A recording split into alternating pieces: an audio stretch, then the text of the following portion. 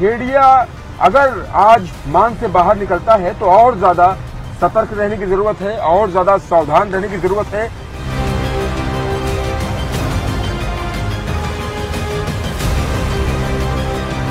ये पूरा इलाका ही घेरिया प्रभावित क्षेत्र है।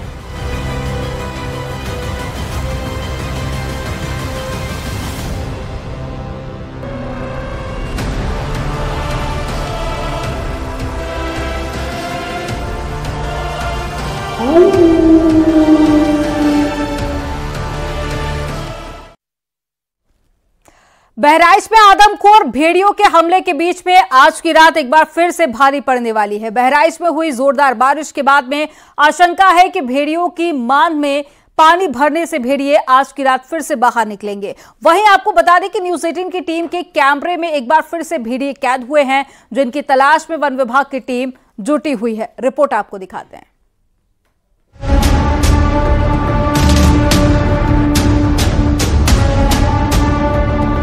आज मान से बाहर निकलता है तो और ज़्यादा सतर्क रहने की ज़रूरत है, और ज़्यादा सावधान रहने की ज़रूरत है। बहराइच और उससे सटे इलाकों में आदमखोर भेड़िए का आतंक जारी है। एक बार फिर भेड़िया न्यूज़ एटीन के कैमरे में कैद हुआ। बहराइच के महसी इलाके के सिसैचा चूरामड़ी इलाके में एक बार फिर आदमखोर भेड़िया देखा गया। जिसकी तस्वीरें न्यूज़ 18 के कैमरे में कैद हो गई। फ़ौरन इसकी सूचना वन विभाग की टीम को दी गई, जिसके बाद इलाके की सर्चिंग की गई। बहराइच में हो रही जोरदार बारिश की वजह से भेड़ियों के सर्च ऑपरेशन में दिक्कत आ रही है कहा जा रहा है कि अगर मान में पानी भर गया तो भेड़िया बाहर आ सकता है भारी बारिश के बाद आज की रात भारी है ये पूरा इलाका ही भेड़िया प्रभावित क्षेत्र है महसी तहसील का इलाका है। सेक्टर तीन में इस वक्त हम लोग घूम रहे हैं। भेड़िया अगर आज मान से बाहर निकलता है तो और ज़्यादा सतर्क रहने की ज़रूरत है, और ज़्यादा सावधान रहने की ज़रूरत है, क्योंकि भेड़िए ने जो मांदे बना रखी हैं, अगर भेड़िया उन मांदों में रुकता है या फिर बारिश से बचने के लिए जाता है तो यकीनन आज वो बाहर आ सकता है। क्योंकि पानी की बात लगातार कही जा रही थी कि बाढ़ की वजह से भेड़िया जो है इस रिहायशी इलाकों की तरफ़ बढ़ा, गाँवों की तरफ़ बढ़ा। लेकिन आज जिस तरह से फिर से एक बार से बारिश हो रही है और बाहर की तस्वीरें तरह दिखाइए कि किस तरह से पानी यहाँ भरा हुआ है। जल जमाव की स्थिति है ही। तालाब वगैरह भी आप देख सकते हैं। ये पूरा महसी क्षेत्र का ही इलाका है।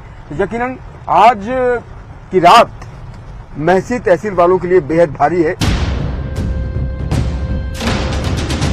इससे पहले महसी तहसील में भेड़िए ने एक लड़की पर हमला किया। लड़की अपने घर के आँगन में आई तो वहाँ वो घात लगाकर बैठे भेड़िए ने उस पर हमला कर दिया और पैर पर काट दिया। लड़की के हाथ में उसका मोबाइल फ़ोन था, जिससे उसे भेड़िए को मारा तो भेड़िए ने उसका पैर छोड़ दिया, लेकिन वो थोड़ी दूरी पर ही जाकर खड़ा हो गया। भेड़िया ने पीछे से मेरे पैर पर वार किया था। फिर हमारे हाथ में मोबाइल था, मोबाइल से हम उसको मारे थे। तो कुछ दूर पर जाकर खड़ा हुआ था उसके बाद वो पापा को अपने बोले तब वो भागा था। लड़की ने ज़ोर ज़ोर से चिल्लाकर मदद मांगी। शोर सुनकर लड़की के घर वाले आ पहुँचे और भेड़िए को भगाया। बच्ची केवल अंदर से बाहर गेट पे ही आई तुम तो ही गेट पे उसको हमला कर दिया पैर में। आवाज़ उठाई तो संघर्ष भी किया उसके बाद आवाज़ उठाई फिर दौड़ के आए तब तो भेड़िया ने भाग लिया जंगल में। वन विभाग की टीम आई थी बाकी विधायक जी भी आए थे वीडियो साहब भी थे, सभी लोग आए थे। देखे, यहाँ पर जाँच किए। बहराइच में भेड़िया प्रभावित इलाकों में लोगों को जागरूक करने के लिए बड़े बड़े पोस्टर लगाए गए हैं। पोस्टर में भेड़िया, सियार, लकड़बग्घा, बाघ और तेंदुए के पच्चन दिखाए गए हैं, ताकि गाँव वालों को जानवर को पहचानने में कोई परेशानी न हो। वन विभाग की तरफ़ से लगाए गए इन पोस्टर्स में आदमखोर भेड़िए से बचाव और सावधानियाँ भी लिखी हैं। जिनकी मदद से भेड़िए के हमले से बचा जा सके। न्यूज़ एटीन की टीम इस वक्त और ही गाँव में मौजूद है और यहाँ की तस्वीरें आप देखिए कि किस तरह से ये पोस्टर्स लगाए गए हैं। लिखा हुआ है, आओ पग चिन्हों को पहचाने। बिल्ली प्रजाति टाइगर यानी बाघ और लेपर्ड तेंदुआ के पग चिन्ह कैसे होते हैं, ये इस पोस्टर में दर्शाया गया है। कुत्ता प्रजाति हायना लकड़ बग्घा के पग चिन्ह कैसे होते हैं वुल्फ भेड़िया के पग चिन्ह कैसे होते हैं? जयकाल सियार के पग चिन्ह कैसे होते हैं? ये यहाँ पर दर्शाया गया है। बिल्ली प्रजाति के पग चिन्हों में नाखून नहीं बनते हैं, लिखा हुआ है। कुत्ता प्रजाति के पग चिन्हों में नाखून के निशान पाए जाते हैं, ये भी लिखा हुआ है। बहराइच वन प्रभाग की तरफ़ से ये पोस्टर्स लगाए गए हैं। और यहाँ पर तमाम अन्य बातें भी लिखी हुई हैं कि भेड़िया हमारे पारिस्थितिकी तंत्र के लिए महत्वपूर्ण अंग है। आइए अपनी समझदारी के मानव वन्य जीव संघर्ष को घटाएँ। बहराइच में न्यूज़ 18 लगातार ग्राउंड ज़ीरो पर है। न्यूज़ 18 की टीम नक्षेत पूर्वा गाँव पहुँची और लोगों से बातचीत की। लोगों के मुताबिक घरों पर दरवाजे नहीं हैं, लाइट नहीं है। आदमखोर का डर उन्हें हमेशा सताता रहता है।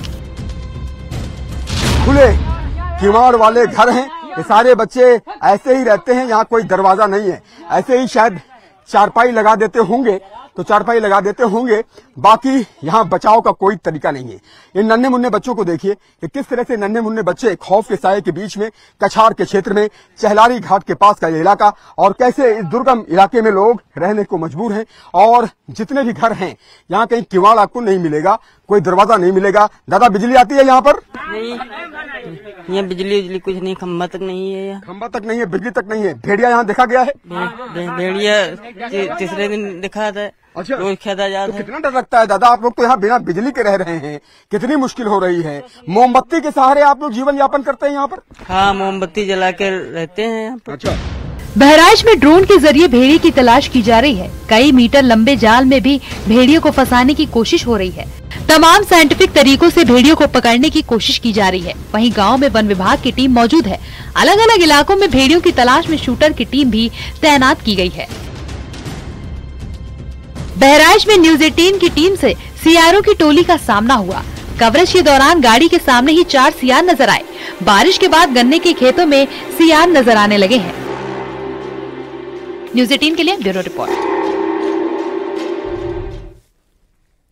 बहराइच में जहाँ आदमखोर भेड़ियों का आतंक बना हुआ है तो वहीं भेड़ियों को लेकर अलग अलग कहानी भी अलग अलग गाँव से सामने आ रही है। कुम्हारन के पूर्वा गाँव में ग्रामीणों का दावा है कि भेड़िया घर की छत पर पहुँच गया और हमला करने की कोशिश की। शोर मचाने पर घर के लोग जब छत पर पहुँच गए तो छत से कूदकर वहाँ से भाग गया।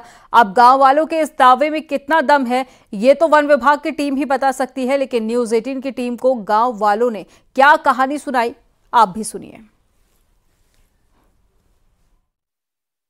न्यूज़ 18 की टीम इस वक्त कुम्हारन का पूर्वा गाँव में मौजूद है। यहाँ पर रीता देवी पर भेड़िए ने हमला किया था और यहाँ के ग्रामीण बता रहे हैं कि भेड़िए की आवक यदा कदा हो जाती है। और आप बता रहे थे कि कल भी ऐसा कुछ नज़ारा आपने देखा। आप छत के ऊपर थे, छत के ऊपर कोई जानवर चल के गया और मच्छरदानी में आप सो रहे थे। क्या हुआ था कल? सर, मैं कल सो रहा था और फिर आया फिर मैंने आँगन में गया उसके पंजे भी बने थे। फिर वहाँ से जब वापस हुआ तब छत पे चढ़ गया। अच्छा। जी। कितने बजे की घटना है ये? दो बजे की। रात दो बजे की। रात दो बजे की। और रात दो बजे की बात आप बता रहे थे कूद गया उधर से? हाँ छत के उस पार कूद गया भी वो। क्योंकि छत के ऊपर किसी वन्य जीव के जाने की घटना शायद पहली है। आमतौर पर छत पे तो अवॉइड करता है वो कि सीढ़ियों को चढ़ने से बचता है है। लेकिन यहाँ पर वो बता रहे हैं सीढ़ियों से चढ़ा। चढ़ गया जी। अच्छा। हमने देखा अच्छा? हकीकत में कि हाँ। रहे थे? जी। तो आपने क्या किया फिर? हमने क्या किया? कुत्ता उस पे सो रहा था कुत्ता भौका। हाँ। फिर वो छत के ऊपर कूद गया सब लोग जग भी गए साथ में। अच्छा। जी। तो भेड़िया भेड़िया चिल्लाए लोग भेड़िया आया भेड़िया आया। हाँ, हाँ? जी। अच्छा तो आजकल अलग अलग गाँव में इस तरह की बातें बहुत आम सी हो गई हैं। जिस गाँव में चले जाइए वहाँ पर भी यही यही चर्चा हो रही है। सब खड़े हुए हैं। और ये घर है बता रहे हैं कि ऐसी छत में वो गया और तरह तरह की बातें हैं। अब कितनी सच्चाई है, कितनी नहीं, ये हम इसकी तस्दीक नहीं कर सकते। लेकिन यहाँ के ग्रामीण जो कुम्हारन के पूर्वा के हैं, वो बता रहे हैं कि इसी जीने से भेड़िया ऊपर चढ़ा। और ऊपर जब आप चढ़िए, इसी जीने से चढ़ते हुए देखिए, ये कहना है कि ये ओपन एरिया है और यहाँ से चढ़ते हुए वो वन्य जीव ऊपर तक गया और ये दिखा रहे हैं कि ये कहाँ सो रहे थे। इस छत पर इसी चारपाई पर ये सो रहे थे मच्छरदानी लगाकर सो रहे थे और यहीं पर ये, इनके मुताबिक अटैक करने की कोशिश की और बाद में जब इन्होंने चिल्लाए, गाँव वाले इकट्ठे हुए तो इसी रास्ते से कूद गया। और आप ये क्षेत्र भी दिखाइए गोपी कि किस तरह का ये क्षेत्र है। जंगली इलाका। छत के ऊपर से नज़ारा देखिए आप जरा किस तरह का है कि यहाँ पर वन्य जीव की आवक क्यों है? ये क्षेत्र जो है एक तरह से पूरा जंगली क्षेत्र कह सकते हैं इसे। चारों तरफ़ पानी है, तराई का इलाका है, और यहीं पर ये सो रहे थे। आमतौर पर छत के ऊपर सोना मुफीद माना जाता है कि भाई यहाँ पर नहीं आ सकता वन्य जीव लेकिन जैसा कि यहाँ के लोग बता रहे हैं कि छत के ऊपर भी भेड़िए ने अटैक किया। हालाँकि कितनी सच्चाई है इसकी हम बात नहीं कर सकते, लेकिन इतना ज़रूर है कि सभी एक सुर में यही बात कह रहे हैं। आजकल जिस गाँव भी चले जाइए वहाँ ऐसी ही कहानियाँ सुनने को मिल रही हैं। कोई कह रहा है कि छत पर हमला कर दिया, कोई कहा कि मुझे अभी अभी कुछ देर पहले ही ट्रांसफार्मर के बाहर कोई वन्यजीव दिखाई दिया। अब ज़रूरत है कि इसकी तस्दीक की जाए, पंजे के निशान हों, कुछ इस तरह की बातें हों, तब इसको प्रूफ किया जा सकता है, वरना कहानियाँ इस तरह की आजकल खूब प्रचलित हो रही हैं इस इलाके में। कैमरा पर्सन गोपी गिरी के साथ उमेश श्रीवास्तव, न्यूज़ 18 कुम्हारन का पूर्वा गाँव बहराइच भेड़ियों और जंगली जानवरों का खौफ यूपी के कई जिलों में देखने को मिल रहा है। तेंदुए और साथ ही बाघ के हमलों में भी ग्रामीण घायल हो रहे हैं। पीलीभीत में जहाँ पर टाइगर के हमले में 50 साल के आदमी की मौत हो गई तो वहीं बिजनौर में आदमखोर तेंदुए को पिंजरे में कैद कर लिया। रिपोर्ट आपको दिखाते हैं।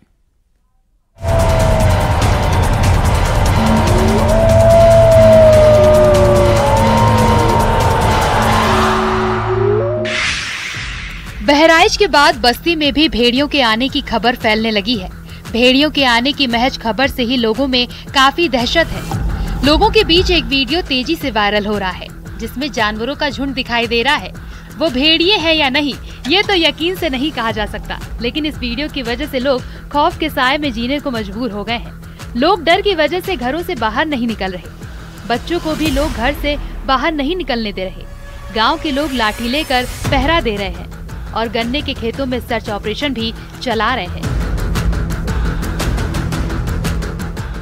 भेड़िए ने- को लेकर के जैसे हम लोग को सूचना मिला, हम लोग ऐठी मढ़ुआ गाँव, पूरा सर्चिंग किए, वहाँ पर कुछ नहीं मिला।